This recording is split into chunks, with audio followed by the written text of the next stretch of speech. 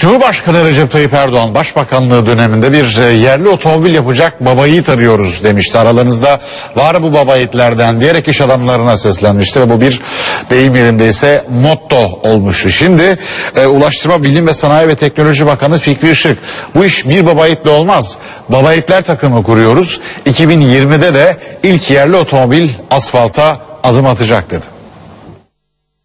Yerli otomobil markası oluşturacağız. Bu konuda kararlıyız. Bir baba yiğit bekleniyordu ama fikir değişti. Artık baba yiğitlerden bir takım oluşturulacak. Yerli otomobilde net hedef belirlendi. Hedefimiz 2020 yılından önce bir Türk markasının başta Türkiye'nin yolları olmak üzere dünya yollarına çıkması. Bilim Sanayi ve Teknoloji Bakanı Fikri Işık yerli otomobil üretimi için gelinen noktayı anlattı. Üç aşamada ilerleyecek proje. Önce TÜBİTAK öncülüğünde ARGE kurulacak. İkinci boyutu e, dizayn ve tasarım boyutu, mühendislik boyutu. Bir de seri üretim yapacak bir e, yapı. Daha önce hükümet kanadından sık sık tekrarlanan baba yiğit vurgusunu hatırlattı Bakan Işık. Baba yiğitler projesi oldu dedi. Tek bir kişinin yapacağı iş değil diye de ekledi. Bir tek baba yiğit e, noktasında değiliz. E, çünkü bu alan çok e, farklı teknolojilerin bir arada, farklı birikimlerin bir arada bulunması gereken bir alan. Sanayi Bakanı Işık tüm çalışmalar neticesinde 2020 yılında yerli otomobilin asfalta değeceğini kaydetti.